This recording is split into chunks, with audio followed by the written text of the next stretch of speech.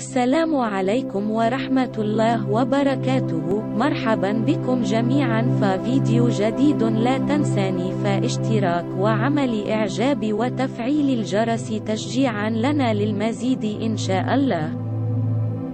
ينتمي النمر بالإنجليزية.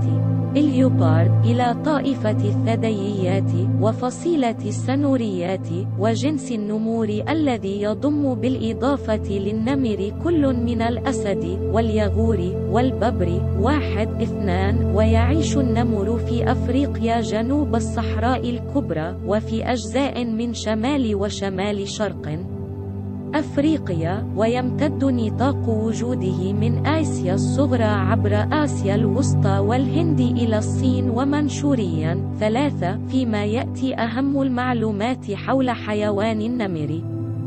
الجسم. يتميز النمر بجسم طويل وأرجل قصيرة نسبيا ورأس عريض وجمجمة ضخمة وأذن صغيرة مستديرة وشوارب طويلة وحواجب طويلة الشعر لحماية العينين أثناء التنقل بين النباتات الكثيفة ويغطي جسمه غطاء يكون عادة. ما بين اللون البني الفاتح إلى البني المائل لسمرة وتنتشر عليه بقع سوداء على شكل حلقات أو وريدات ومع ذلك يوجد نمور لها غطاء أسود ينتشر عليه البقع المميزة للنمور. أربعة خمسة الحجم. يعتبر النمر أصغر أفراد جنس النمور حيث يتراوح طول جسمه بين 92 إلى 190 سم ويتراوح طول ذيله ما بين 64 إلى 99 سم ويتراوح وزن الذكر ما بين 36 إلى 75 كغ في حين تزن الأنثى ما بين 21 إلى 6 كغ واحد ستة السلوك. يحب. النمر العزلة ولا يلتقي بغيره إلا في موسم التزاوج وتربية الجراء ويقضي النمر نهاره وهو مستلقي على الصخور أو على الأشجار وحين يواجه النمر تهديدا يمد ظهره ويضغط على القفص الصدري لإبراز اللوح. الكتف ويخفض رأسه كما تفعل القطط تماما. واحد ستة المهارات.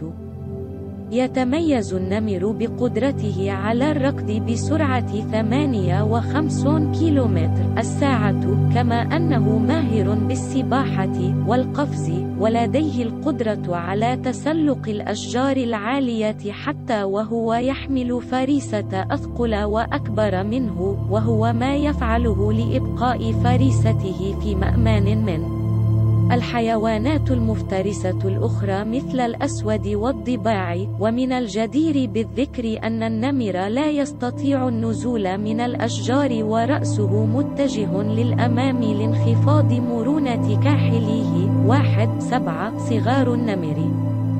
تلد أنثى النمر عادة اثنان إلى ثلاث جراء بعد فترة حمل تستمر من ثلاثة إلى ثلاثة فاصلة خمس شهرا ويكون صغير النمر عند الولادة مغلق العينين ومغطى بشعر خفيف ويتراوح وزنه ما بين 500 إلى 600 غم. سبعة الغذاء وطريقة الصيد. ينشط النمر للصيد ليلا ويمكن أن يصطاد فريسته وهو على الأشجار كما يمكنه أن يتسلل بين الأعشاب وهو منحني على ارتفاع منخفض ويباغت فريسته بعضة واحدة على الرقبة فيكسرها ويمكن أن يتغذى النمر على أي حيوان يصادفه بما في ذلك غزال تومسون وأشبال الفهود والقرود وخنازير تؤلولية والطيور الكبيرة والثعابين والبرمائيات والأسماك. ستة ثمانية المخاطر المعرض لها النمر. تتناقص أعداد النمور في أماكن انتشارها بسبب فقدان الموائل وتعرضها للصيد للتجارة وللحصول على الفراء ولحماية الماشية من هجمات النمور كما أن صغار النمور تكون عرضة للافتراس من الأسود والببور. والضباع المخططة والكلاب البرية الأفريقية. أربعة التميز بين النمر والببر. يعد الببر بالإنجليزية. tiger حيوان له جلد مخطط يعرفه الكثيرون باسم النمر لعدم اشتهار اسمه الصحيح وهو الببر واحد اثنان. سلالات النمور يوضح الجدول الآتي السلالات الفرعية للنمور وموطنها الأصلية. أربعة السلالة الاسم العلمي الموطن.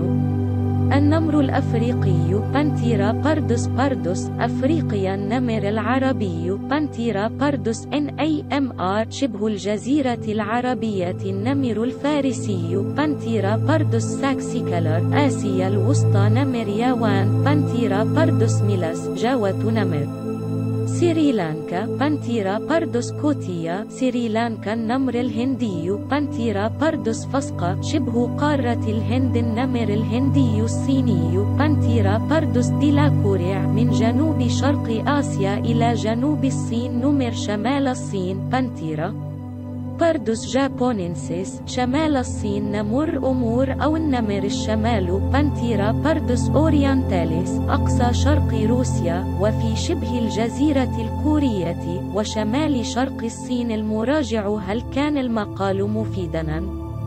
نعم لا